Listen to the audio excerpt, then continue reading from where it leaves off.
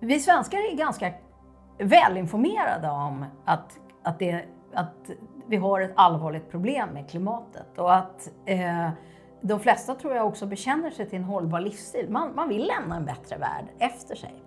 Och ändå så hör vi till de värsta bovarna på jorden när det gäller utsläpp. Inte den absolut främsta eh, eh, eh skurkgruppen med USA, Gulfstaterna och Luxemburg.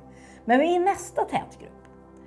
Och eh, det här är vad jag är himla intresserad av. Hur är det liksom möjligt att vi kan leva med den här krocken mellan vår kunskap och, och hur vi faktiskt beter oss?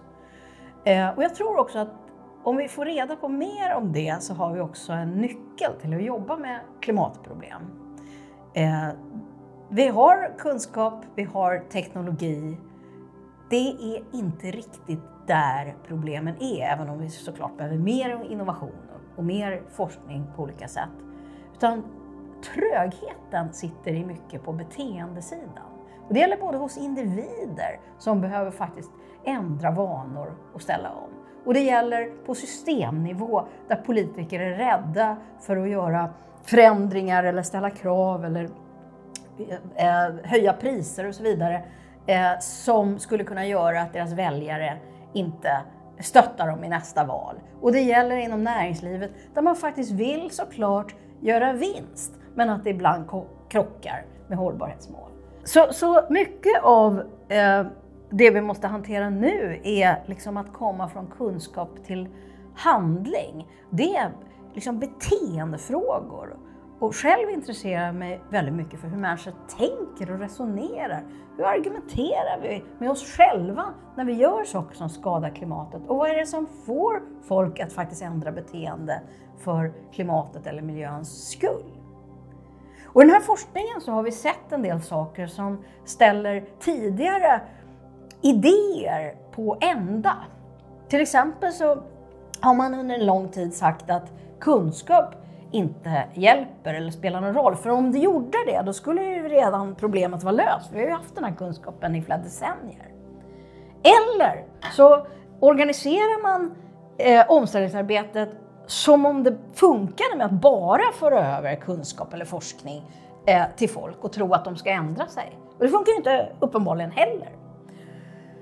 Eh, men det vi har sett är att kunskap spelar visst roll för de som ställer om. Men inte all sorts kunskap, utan vissa typer av kunskap är särskilt viktig. Och det går inte heller så där dramatiskt fort. Om man har fått kunskap så bara ändrar man beteende.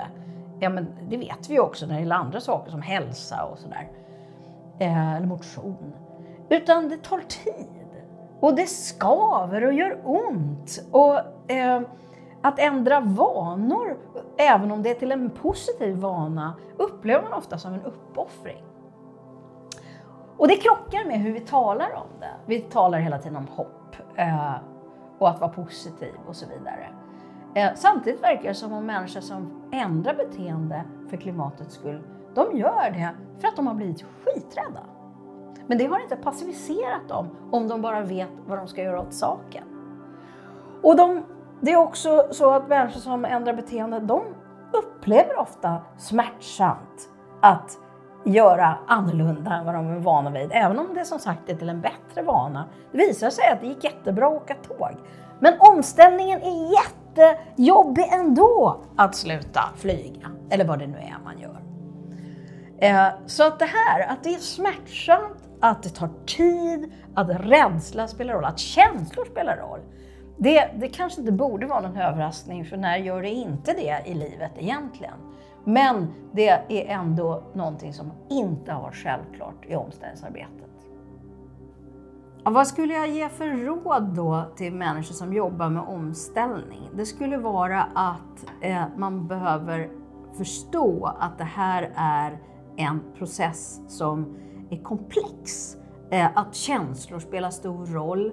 Att eh, eh, att vi argumenterar med oss själva för att kunna behålla de beteenden som vi älskar och inte vill bryta med.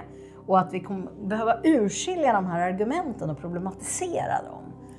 Eh, och att eh, vissa typer av kunskap spelar större roll än annat. Till exempel kunskap om akutheten, kunskap om storlekar och proportioner på olika utsläppskällor spelar väldigt stor roll. Och till forskare, Eh, ja, jag jobbar faktiskt med ett, ett sorts projekt kan man säga, där, där, som handlar om hur vi forskare eh, kan bli mer proaktiva eller flytta fram positionerna när det gäller dialogen med andra aktörer, med allmänheten och med medier eh, i, i, i de här frågorna. För det är lite grann av en klyfta eller ett gap mellan forskningen och praktiken. Jag tror att många forskare är rädda för, för att man ska ja, tappa sin integritet på något sätt när man deltar i debatt och när man samspelar med andra aktörer. Men jag tänker att det är vår förbannade skyldighet.